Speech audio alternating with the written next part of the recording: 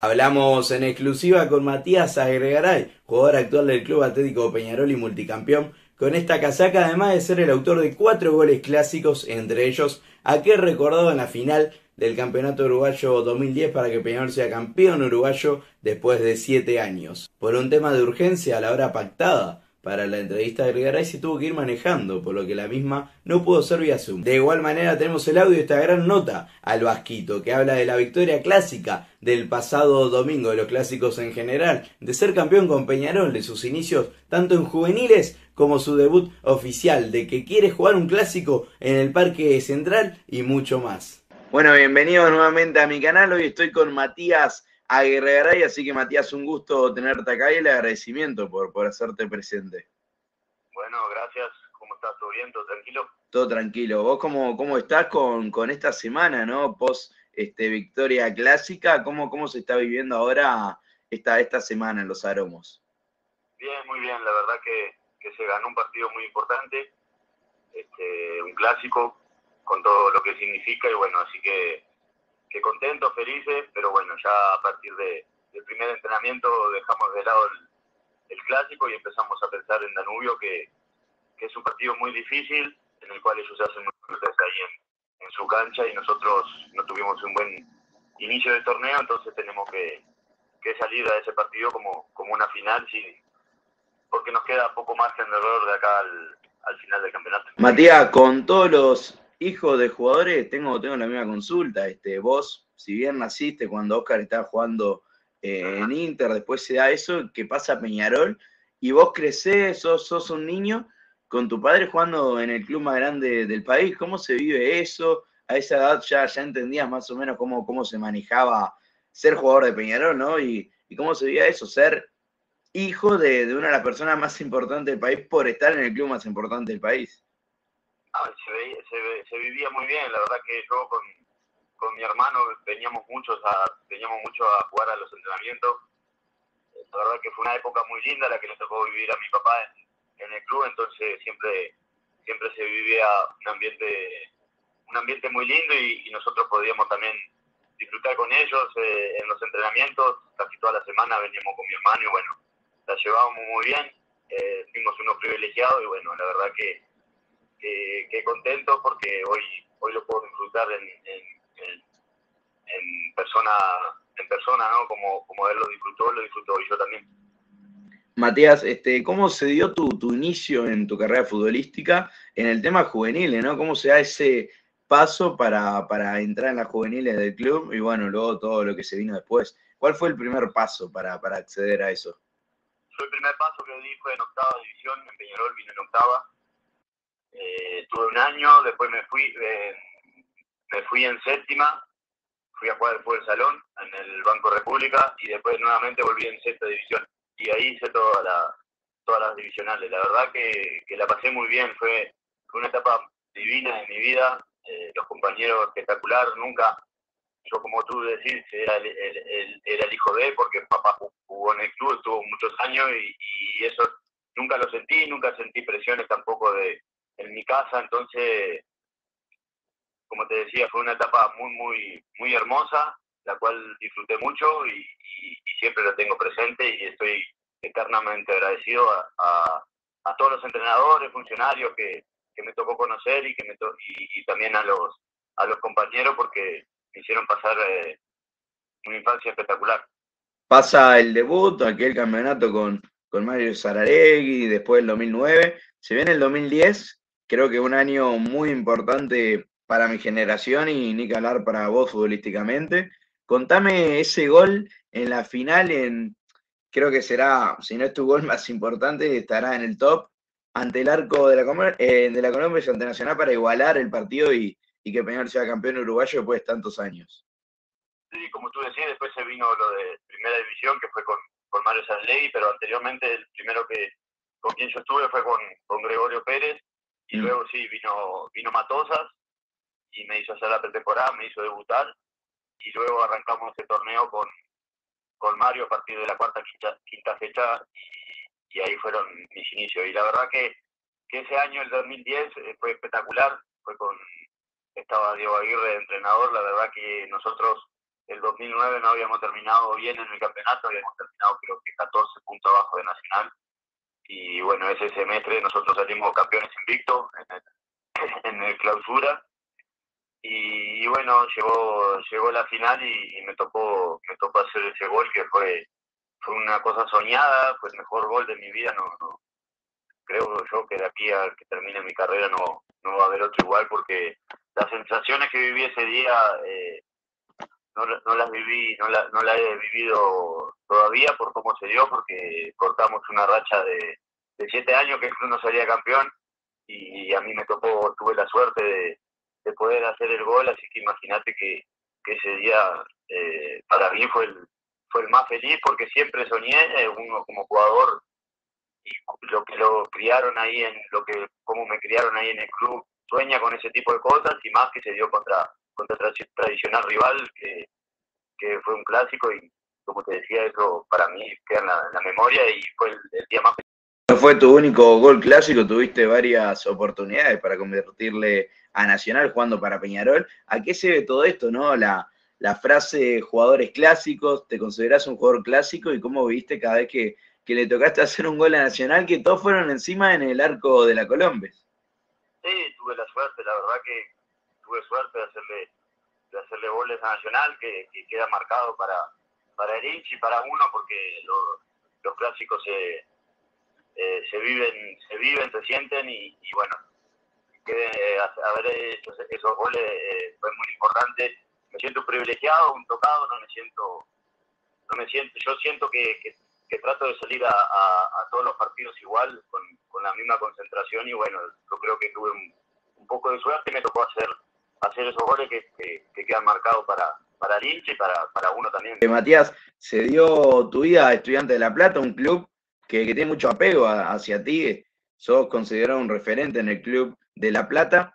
En un año que estás en Estudiante se da el cruce por, por Copa Sudamericana, el Estudiante, bueno, allá en La Plata fue una invasión de hinchas. ¿Cómo viviste en enfrentar a, a Peñarol? Ya, ya lo has hecho, este, ¿Y cómo viviste si, y si tus compañeros te, te, han dicho algo sobre lo que fue esa gran invasión, uno de los partidos más recordados en el exterior por, por parte del hincha?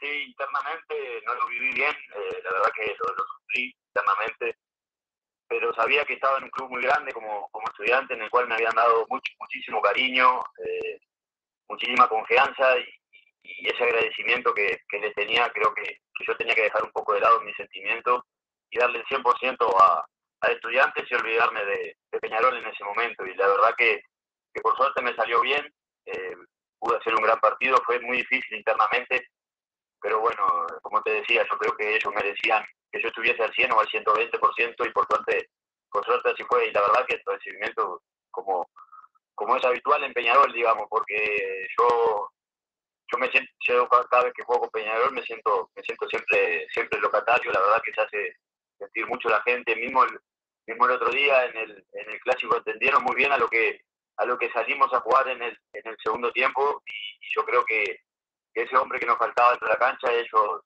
fueron, no se sintió porque ellos, ellos eran uno más, eh, sabían cuándo, cuándo darnos para adelante, entonces creo que, el rival lo sintió porque yo veía que, que lo miraban, porque en un momento cantaron muy fuerte, la verdad, y se sintió mucho la hinchada.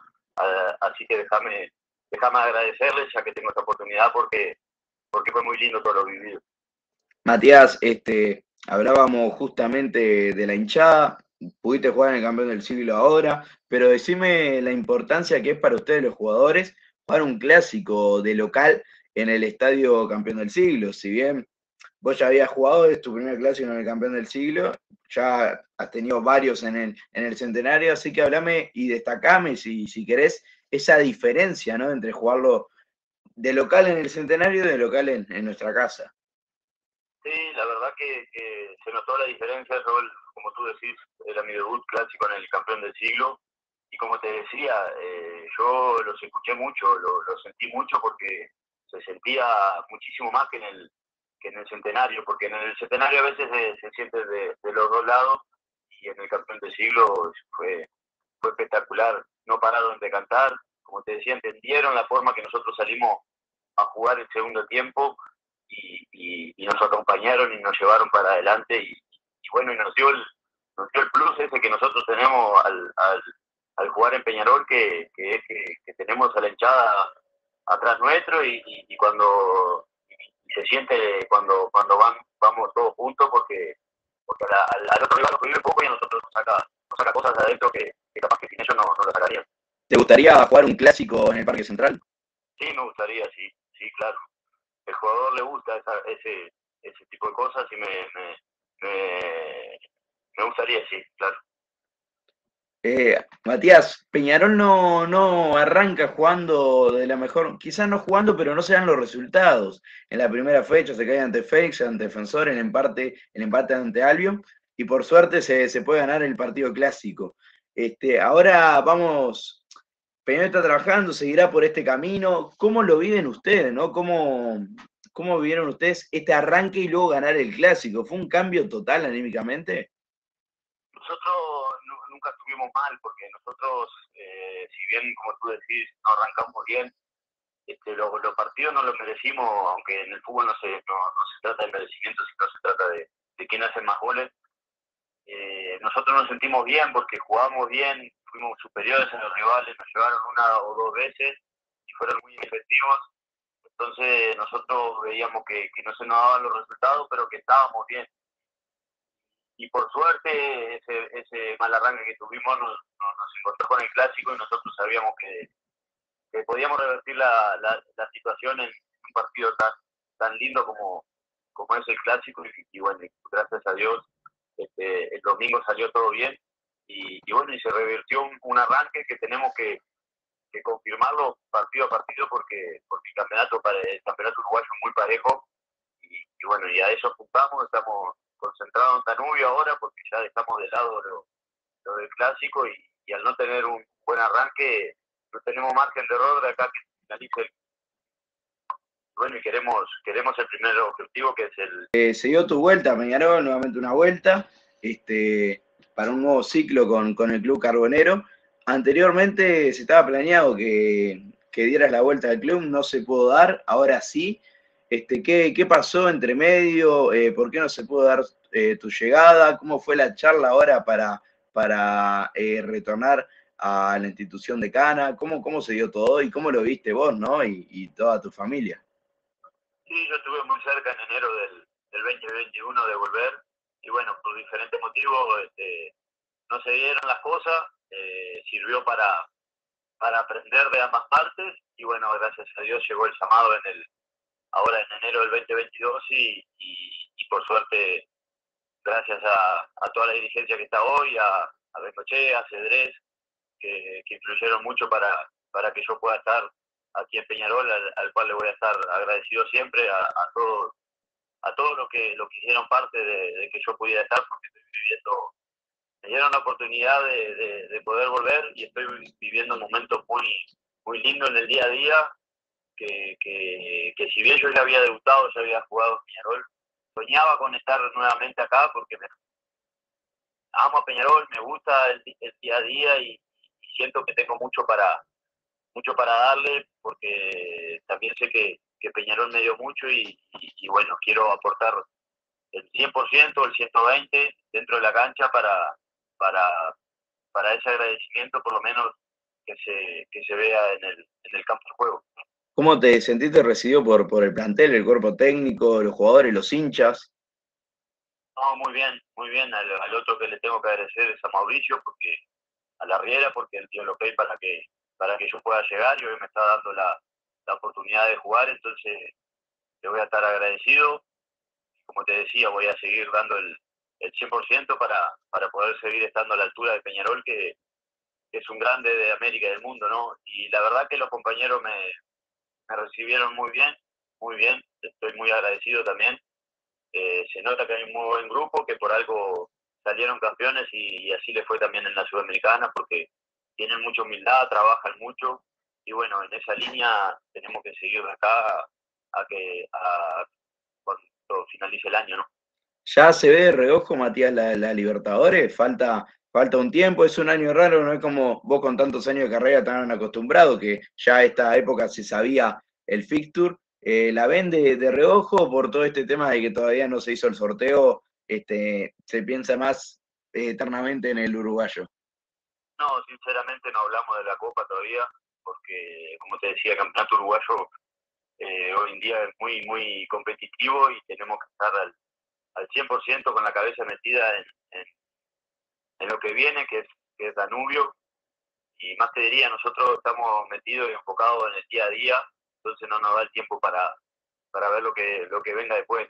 Eh, estamos trabajando mucho para, para tratar de sacar muy buenos resultados y bueno, cuando llegue el momento de la Copa, al cual es, es un sueño al que al que tenemos, lo vemos lo vemos lejano, pero bueno, estando en Peñarol siempre se busca la gloria y nos vamos a preparar mucho para, para, para estar a la altura de lo que, lo que el escudo manda.